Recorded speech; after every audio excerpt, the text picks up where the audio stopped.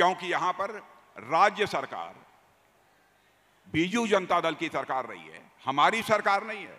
हमारी सरकार होती तो मैं कह देता जो लोग भी आयुष्मान भारत का कार्ड पाने के लिए जो पाने के योग्य थे, उनको प्राप्त हो गया लेकिन आज मैं दावे के साथ नहीं कह सकता, क्योंकि बीजू जनता दल की सरकार है।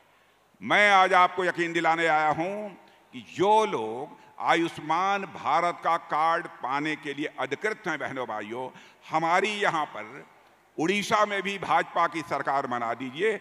एक व्यक्ति शेष नहीं बचेगा जो कि आयुष्मान कार्ड पाने का अधिकारी है, उसे आयुष्मान कार्ड प्राप्त न हो जाए।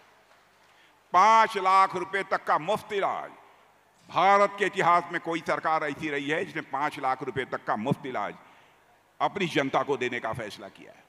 और आज मैं यहाँ कहने आया हूँ चाहे आपकी आमदनी कुछ भी हो, आप गरीब हों, अमीर हों, किसी जात के हों, किसी धर्म के मानने वाले हों।